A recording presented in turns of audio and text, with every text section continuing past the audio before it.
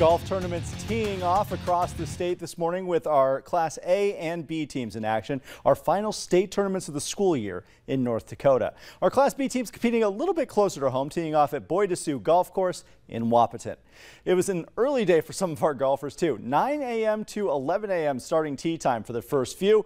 We're going to pick up the action in the back nine on the Minnesota side of the course. We have Carter Wallner from Lisbon. Check out this approach here on the 11th green. Ball just misses the pin, bringing the putter out now. This shot to save par, and he's going to nail it from short distance. First to finish from his group here. Continuing to Zachary Johnson of Kindred. He's just off the green on an incline. Tough shot, a hair too strong, but he does save par on the next shot going back the other way. This one perfect. Back to the 10th hole now. Everett D Dutchuk from Beulah skies this one into the fairway. Ball stays rolling up and over the hill, just bounces onto the green and within sight of the hole. What an approach. All he has to do is two putt it from there for par. Now we're going to have more from tomorrow's championships round and stay tuned tonight for some Class A action from Bismarck.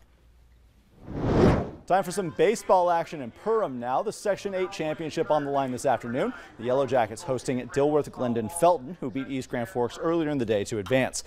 Perham opening up the scoring in the bottom of the first. Evan Kovash blasts this one in the left field. The ball sneaks past the glove and keeps on rolling.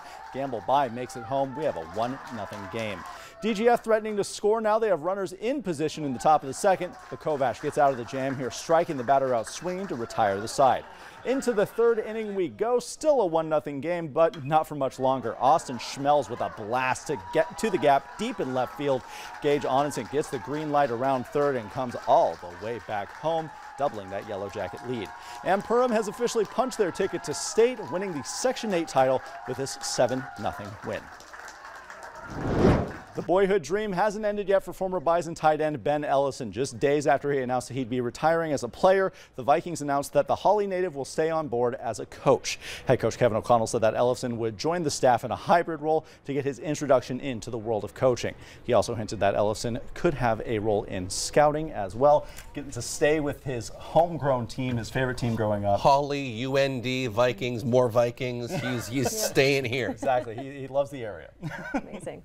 Uh, Hutch is back in with one more look at your forecast. Those kind of storms keeping popping up, Hutch. Speaking of popping up, look at this old towering cumulonimbus cloud. You're looking off to a northeasterly direction from our home of economy location in Devil's Lake. So they're hit and miss storms here and there, not impacting a big area, but when they do, they're dumping out some very heavy rain locally and some gusty wind that has caused some damage as we showed you in some photos earlier snapping some trees. A few moving into North Fargo and the Harwood area. These are moving in the general direction of Fargo Moorhead right now but only at about 15 miles per hour. 1.66 inches reported from our friendly viewer in Glyndon in 45 minutes and it matches up exactly with the precip estimates from the radar.